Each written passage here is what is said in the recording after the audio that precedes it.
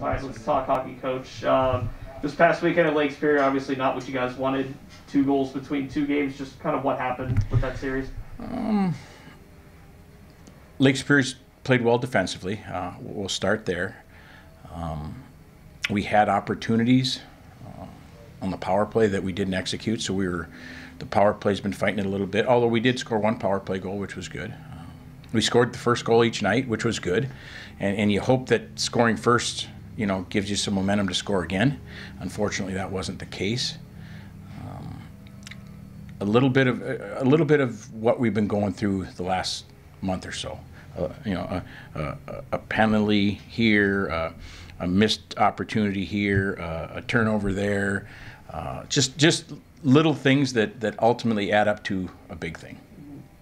Um, going look looking at Friday five one game. A lot of things kind of unraveled after you scored that first goal. Was it just about their defense? Was it a lack of you guys doing, you know, just not living up to the game plan? What, how would you break yeah, down? I mean, we went back after the game and watched that game right away after that night, and, and, and watched the first two periods be, because by the time the third period rolls around, it's it's it's we, we got a lot of catching up to do and and we just we just saw some again a, a, little mistake that that ended up in in a in a been a big mistake.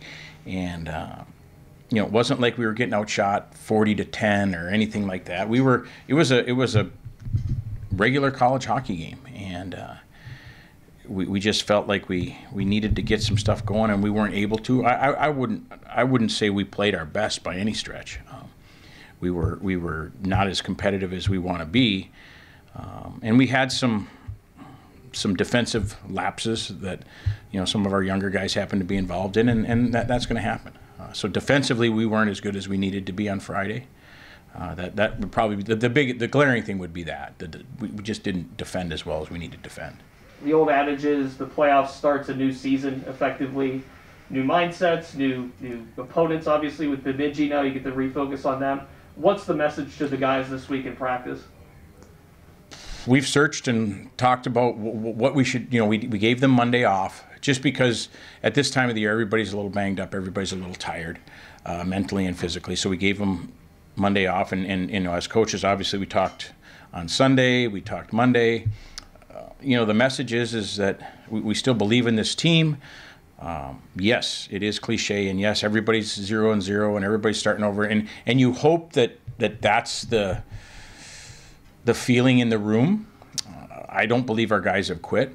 Uh, we believe our guys are going to be excited to play on Friday, uh, just like Bemidji believes their guys are going to be excited to play. Uh, we're playing a team in Bemidji that we've played four times, uh, two at home, two on the road. We've won one in each building, and they've won one in each building. So it's a, it's an opponent we're familiar with. It's an opponent that that uh, we've had some good games against this year.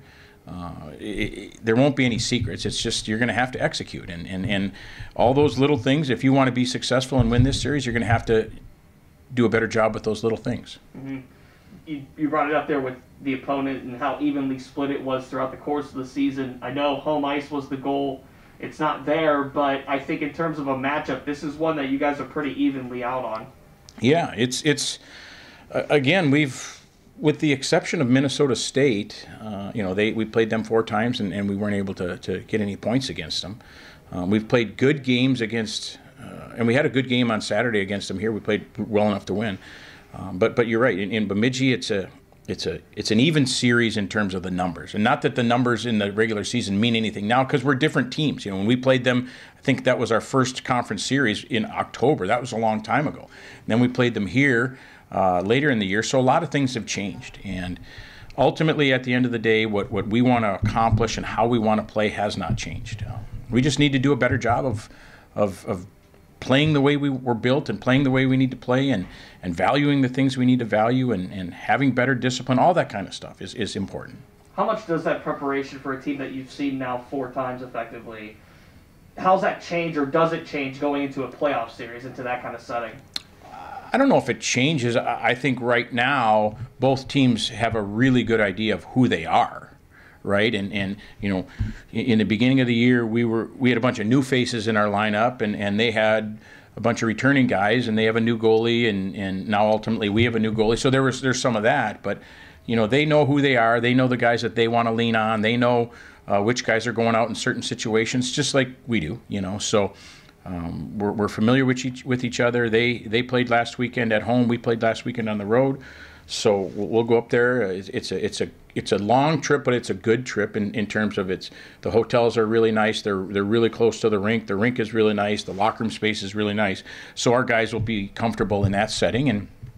Uh, we know what, what we need to do to, to have success, and, and, and Bemidji feels the same way. So it's it's going to be uh, it, it's it should be a, a, very competitive series. How do you turn familiarity like that into an advantage for you guys? Uh, I just think our, our guys, there's no more unknown, right? Uh, with with all the new players we had, there there were a bunch of guys that first series up at Bemidji that had never been to Bemidji, had never played Bemidji, didn't know what Bemidji was. Now at least our guys have played them and they understand it. So I would think that's that's certainly something different than the first time we went up there. Uh, and, and, then and then again we we should be confident in knowing that when we do the things we're supposed to do and, and play the way we're supposed to play, we can have success. Does playing three games versus playing two games in a row affect any kind of preparation? You know, uh, it might affect you a little bit as the road team. You know, obviously this is it's a 14 plus hour bus ride. We're actually going to fly, so um, it's just not possible to bring a lot of extra bodies. It just doesn't make sense. Um, we'll bring three or four extra players because exactly what you said. If you get into a th- three games in three days, that's a lot of hockey for a lot of people. And if you're at home, you have access to more bodies, right? If you wanted to flip out six guys for the third game because you got some guys that are really tired. You could do that. Uh, whether or not that happens, who knows? Um, so I guess we'll cross that bridge when we get to it. Anything on the Zoom, Peter?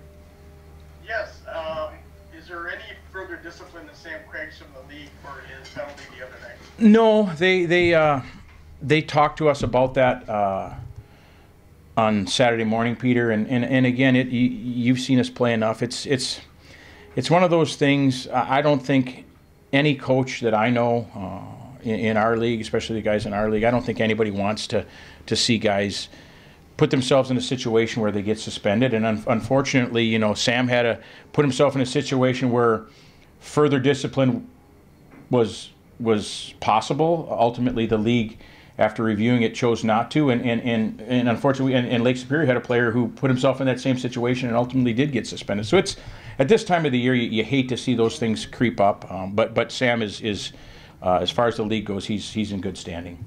Yeah. Okay. I mean, I can see how he has provoked nothing worse than getting a stick in the back of the legs like that. Yeah, it, you know, it's whether you, whether it's you know. Um, stick penalties or things like that. There's there's give and take, and usually there, there's there's uh, uh, it takes two to tango, as they say, and and usually uh, something leads up to those kinds of situations, and and unfortunately, uh, you know, in that situation, Sam Sam could have made a better decision, uh, and hopefully this weekend he does.